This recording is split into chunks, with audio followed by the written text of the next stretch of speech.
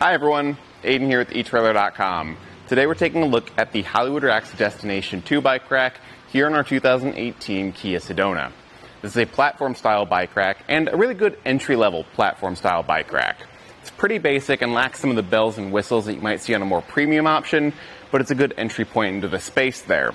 It is a frame contact style bike rack here. So we've got a frame clamp right here with a strap around it.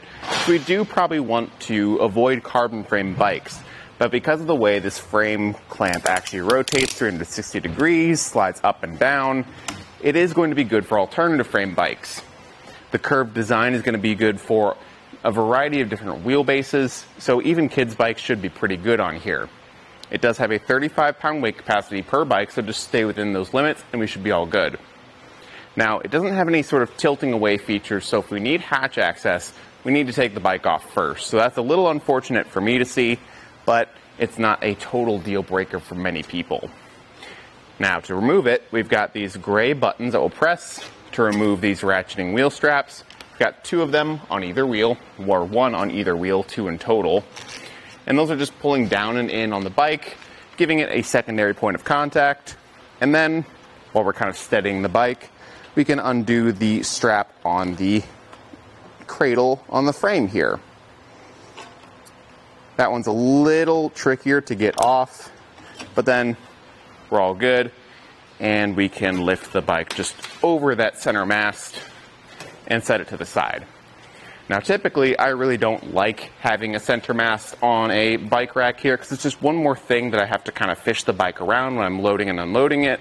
But because this one is so low, it's actually pretty easy to lift the bike up and over. I like to replace these straps as well, except for one of them. And we'll show you why in just a second here. I'll undo this hand knob and flip this plate back so that we can fold this mast down.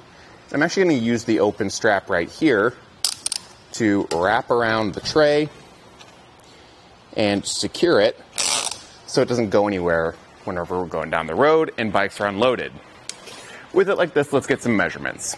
Our ground clearance at the lowest point is going to be 14 and a half inches here because of that sort of U-shaped design. And it is going to stick out about 23 inches from the back of the vehicle. Now it's fairly condensed, but if we want to leave it in the hitch between bike rides and it's empty, we can fold it up to save some space. Near the hitch here, we've got a hand knob that's threaded We'll just remove that, fold the bike rack upright, and rethread it in with the newly aligned holes. Now there will be a clip on the other side of that that you have to remove and put back on, but ours has gone missing after it's been down in the shop here for a while. Just tighten that up, and it actually kind of acts like an anti-rattle device, keeping that pivot point really solid.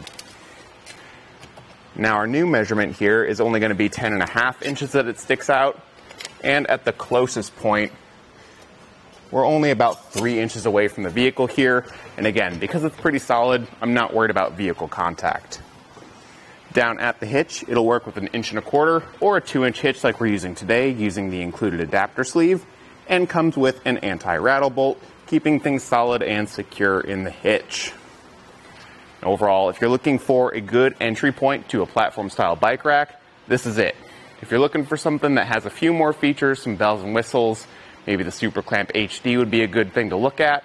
It's got integrated locks and tilting away with the bikes loaded, as well as a higher weight capacity. Either way though, it's going to be a good fit for your Sedona here.